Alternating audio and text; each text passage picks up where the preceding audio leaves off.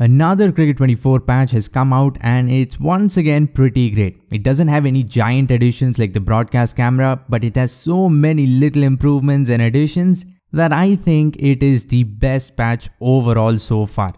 The first thing you'll notice is how smooth the game has become. It runs like butter. If you had FPS problems, go ahead and play it now. It's most likely completely gone because my FPS almost doubled.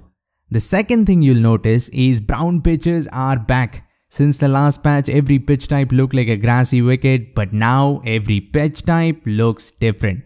The first thing they have added are World Cup qualifications in career mode. This is of course only for associate teams, so most of us probably aren't going to get a chance to play this tournament unless of course you're playing as a West Indian player, the most well-known associate team right now. Post-match press conferences have been added, but it's only for higher levels, so I guess only international and of course various T20 leagues. Here I played as Warner, I was both the captain and the player of the match. You get asked a few questions, nothing much, but on the very first try I encountered a glitch. As you can see, probably a coding error, nothing serious but this is a nice little addition for sure.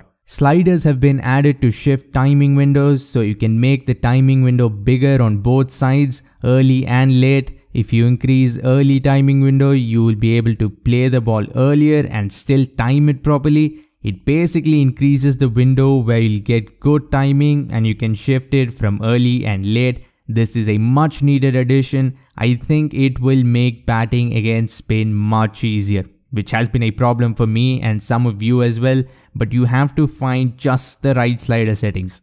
This is the most exciting change, the option to shift to caps while batting against spinners. You can manually do this or you can set it to automatic so whenever a spinner comes on, your batsman will remove his helmet. One little cutscene of the batsman removing the helmet and putting on his cap would have been extraordinary, but this is great as well. Some player models have also been improved, they haven't mentioned which country or team. Also BBL squads have been updated. Improved batting animations. I played a few shots, almost every shot looked the same, but the scoop just looks a little cleaner, a little better. I can't point what has changed, but it just looks slightly improved.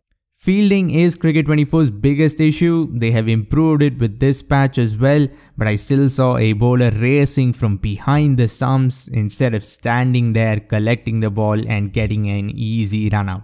But I made a save at the boundary which was very close but the fielder did a near perfect job and it looks super realistic as well so up and down here.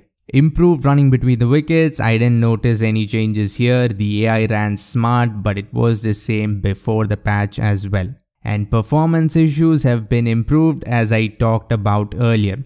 If you want to see the last patch review, click the video on screen. For now, subscribe for more Cricket 24 videos and updates. Thanks for watching and have a great day wherever you are.